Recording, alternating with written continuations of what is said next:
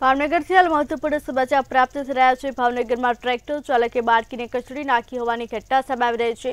સાત વર્ષથી બાળકીને ટ્રેક્ટર ચાલકે કચડી નાખી હતી. જોકે અકસ્માત સર્જી ચાલક ટ્રેક્ટર મૂકી અને ફરાર થઈ ગયો હતો. અજાણ્યા ટ્રેક્ટર ચાલક વિરુદ્ધ પિતાએ હવે પોલીસ ફરિયાદ નોંધાવી છે. ભાવનગરમાં ટ્રેક્ટર ચાલકે બાળકીને કચડી નાખી હોવાની ઘટના સામે રહી છે. સાત વર્ષથી બાળકીને ટ્રેક્ટર ચાલકે કચડી નાખી હતી. જોકે અકસ્માત સર્જી અને ટ્રેક્ટર ચાલક ટ્રેક્ટર મૂકી અને ફરાર થયો હતો. હાલ સમગ્ર ઘટનાને લઈને અજાણ્યા ટ્રેક્ટર ચાલક વિરુદ્ધ પિતાએ પોલીસ ફરિયાદ નોંધાવી છે.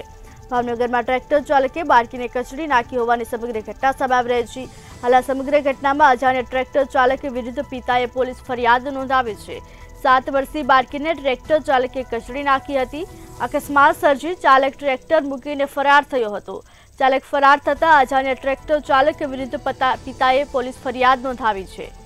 ત્યારે ભાવનગરમાં ટ્રેક્ટર ચાલકે બાળકીને કચડી નાખી હતી.